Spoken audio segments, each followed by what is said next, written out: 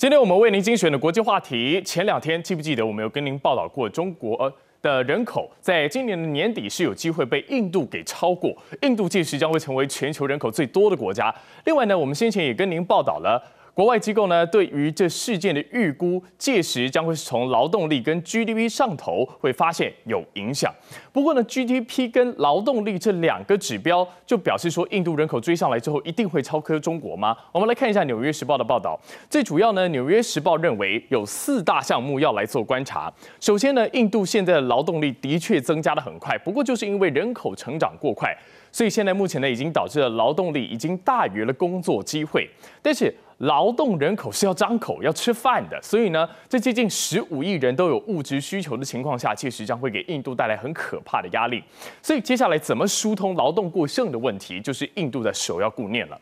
现在印度呢，超过三分之二的人口介于十五到五十九岁，这些人呢是都可以投入到市场当中的。但是如果以印度现在人口成长的速度，每年呢大概是需要九百万个新的工作。所以过剩人力的现在就有两个状况，一个呢是直接投入传统农业，另外一个是的确找到工作了，但是呢你的工作能力跟这个职位完全搭不起来。我要的是一个会煎牛排的，结果你是调酒师，那当然整体的状况就业状况就不理想。